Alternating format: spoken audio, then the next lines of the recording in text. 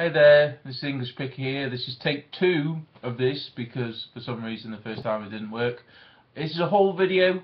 There is going to be one of my famous rant videos coming after this uh, because once again a couple of charity shops have pissed me off. So I feel I need to vent about it because uh, I'm sure you guys understand.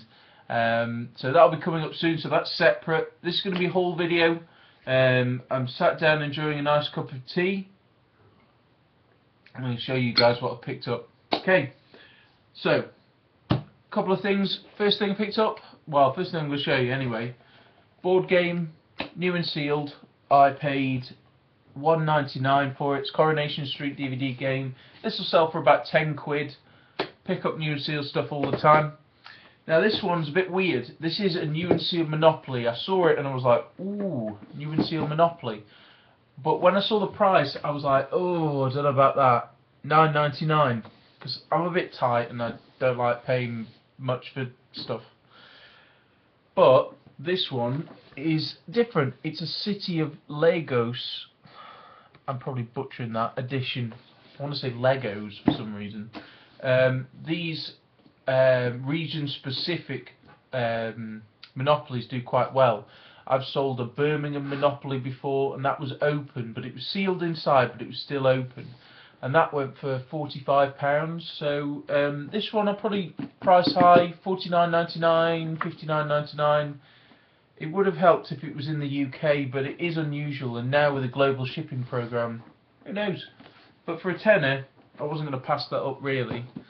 Um, I picked up this book. It's uh, Hinduism uh, I can't talk today. I do apologise. For dummies, um, this sells for around ten quid. Uh, these the more niche versions of the For Dummies series sell better. Things like beekeeping for dummies and things like that because the the train yourself on computer ones are just worth nothing.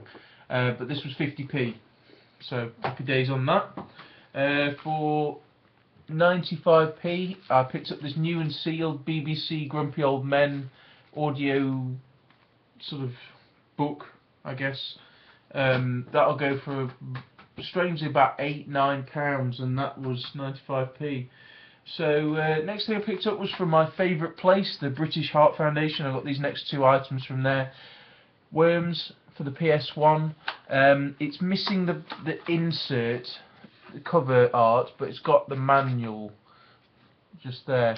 And the CD's alright, but I like including Worms in with a PS1 when I sell it.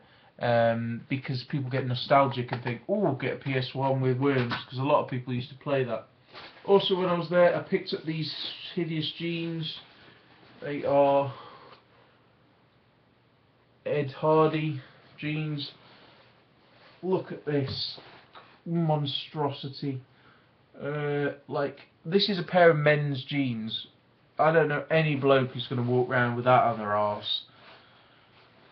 Size 36, I think, 36 or 38, and I paid 5.49, but I probably will get about 20 quid for those, because uh, they're, they're brand new. Uh, I mean, they're just, there's no wear on them at all. So, uh, punt, I'm doing well on uh, uh, jeans at the moment. Um, went to CEX, and I picked up this. Uh, it's a it was a new and sealed uh, nunchuck, uh, official nunchuck, um, but bizarrely enough in CEX I got talking to the guy and he said that they can't sell anything that's new and sealed. So if you trade in the game that's new and sealed, they they unseal it and unseal it at the side and then put it on the shelf which is dead weird. I don't know why. It's some because they're technically a second-hand shop. I don't know whether it's a tax thing or so this was sealed, but he busted open the seal, and I was like, oh. Anyway, I still bought it for five quid um, because it is new. Uh, so it's new and open box. So I'll sell this on eBay. Most of this stuff's going on eBay. Some bits I'll keep myself. None of it's really Amazon worthy. So yeah, I'll get about 10. some people are getting up to 15 quid for those, bizarrely enough. Um, then also while I was there, I picked up Star Wars Republic Commando. I've never played on this before, so I'm going to have a go. And it was three quid. This sells for about six to eight, so I'll play on it and then move it along. Then uh, from two different places, I picked up these. I picked up Sims 2. Joe told me about these, that the actual Sims, not the expansion packs, are selling for alright money. Paid 1.99, but I'd got this earlier on in the day for 1.50. Sims 3. This sells for about 10. This sells for about uh, 8 quid, I think. But I've got a, I picked up a Sims 1 the other day, so I'm gonna put it as a bundle, 1, 2 and 3. Perfect bundle item there. Probably get about 20 quid uh, on eBay. Then from another place I picked up this, which is a promotional uh, Xbox 360. It's, it's a football game, but I'll get a bundle of these. I've got a few of these promotional only ones together, so I'll do those a bundle. Um, I've got these two here. This is another perfect bundle.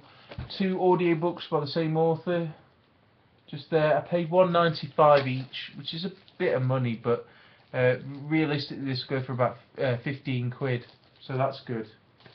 Uh, okay, so the next couple of bits, I picked up this. Now this is unusual. Caught my eye. It's cast aluminium on uh, a marble base, and it says there's a label underneath which someone's tried to pick off, probably someone who works there. Uh, Hoselton sculpture made in Canada, and I paid three pounds for it. These sell for about fifteen to twenty pounds. Um, so yeah, pretty cool. But um, yeah, I might keep it for a bit because it's quite cool, and then I'll move it along at some point. And then the last two items, you'll see these in the rant video. I came across a stash of Dreamcast games, and I picked these two up. Now, the rant video will go into more details, but basically, these are the two I picked out.